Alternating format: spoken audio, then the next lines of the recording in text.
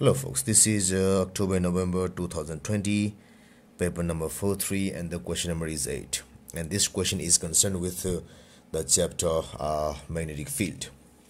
So it is it says that a slice of a conducting material has its face QRLK. So QRLK is QRLK uh, normal to a uniform magnetic field of flux density B. So this is a magnetic field here, normal here that means this angle so this the angle between this line on this surface and uh, these uh, lines should be 90 degrees normal.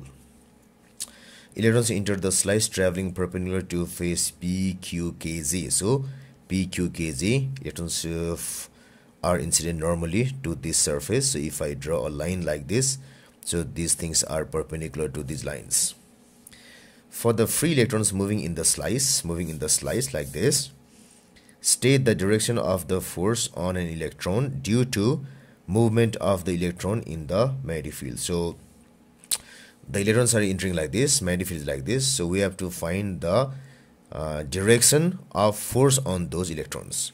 Direction of force on those electrons. So for that let us follow this uh, left hand rule of Fleming so had these things been positive charges, had these things been positive charges, the direction of force would have been given by the Lorentz force. Uh, the, sorry, by, by the uh, Fleming's left-hand rule. So it, this rule says that if uh, this is the magnetic field, magnetic field which is to the left here, magnetic field here. So let me place the fingers like this. This is the magnetic field. And if the positive charge are going like this, in that direction, like this, the for force will be like this so magnetic field here in this direction just like this. Positive charges going like this to that direction. Then the force would have been like this. So that means the positive charges would go in the upward direction. Positive charges would go in upward direction. But here what we have is it is the uh, it is the it is the, the electrons that are moving like this. So if it's the electrons then this direction should be opposite. So if positive charges they go up.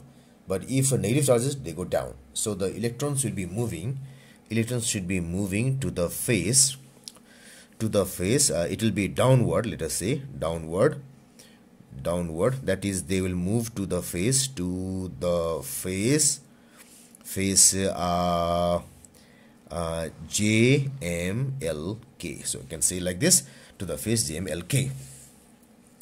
Identify the faces using the letters on figure 8.1 between which uh, potential difference is developed. So what you have is the electrons uh, are going to the lower face. That means uh, the upper face will be positively charged. The lower face becomes negative and since it is whole neutral the upper face should be positive. So that's why the PD should develop between the lower is JMLK LK and the upper is it is a PQRS PQRS so PD is developed between the faces PQRS and JMLK now Explain why the potential difference in A reaches a maximum value.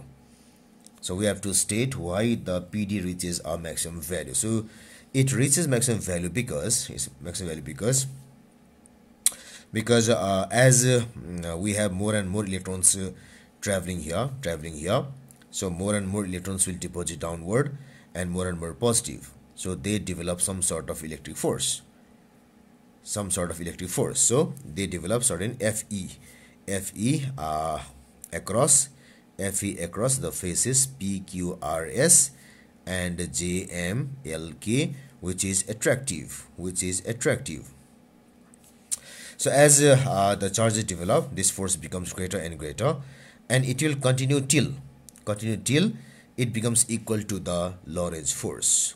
The Lorentz force which causes positive to go go up and it to go down. So until it becomes equal to this this continues and after they become equal no further charges can separate. After they become equal no further charges can separate. So that's why so the PD because of that force should also be reaching a certain maximum value. So since this force reaches maximum value which is equal to this the PD also should reach a maximum value. Because it is a, the PD is equal to sorry uh, force is equal to QV by D. So if it is maximum it also should be maximum. Now the next question. The next question says the number of free electrons per unit volume in the slice of a material is 1.3 into something something. So it is uh, n here n. The thickness pq of the slide is this. This is t. And uh, the magnetic flux density is b like this. And the pd uh, calculate the pd across the slice for a current of this thing. So this is i. And the voltage that we have to find the pd that we have to find is simply hall voltage. So this is hall voltage is equal to bi by nqt so it should be equal to b is equal to 4.6 into 10 to the power minus 3 into i is equal to 6.3 into 10 to the power minus 4 whole divided n is the number of electrons. It is 1.3 into 10 to the power 29 into q is charge charge of the electrons. So it is 1.6 into 10 to the power minus 19 into the thickness is 0.1 millimeter 0.10 into 10 to the power minus 3 meters. So now this will become so uh, bracket 4.6 exponent minus 3 into 6 3 exponent minus 4 very close divided bracket 1.3 exponent 29 into 1.6 exponent minus eh, minus 19 into 0.1 exponent minus 3 okay so it becomes equal to equal to 1.4 into 10 to the power 1 2 3 4 5 7 8 9 10 10 to the power minus 12 volts. This value is equal to 1.4 into 10 to the power minus 12 volts. Now the slice in C is a metal so the slice being used here is a metal by reference to your answer in C is to C suggest why Hall probes are usually made using semiconductors rather than metals so in C what I, I can say is the value of a VH is inversely proportional to this N. And since this N is very large, VH is very less. So for metals, for metals, for metals, metals, uh, N is less, N is sorry, more, N is more, and uh, this Hall voltage is uh, very less. But in case of semiconductors, but in case of semiconductors, conductors, n is very less. And this makes VH large. This makes VH large.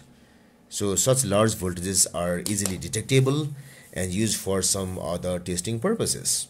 So that's why these probes use semiconductor uh, slices rather than uh, the metal slices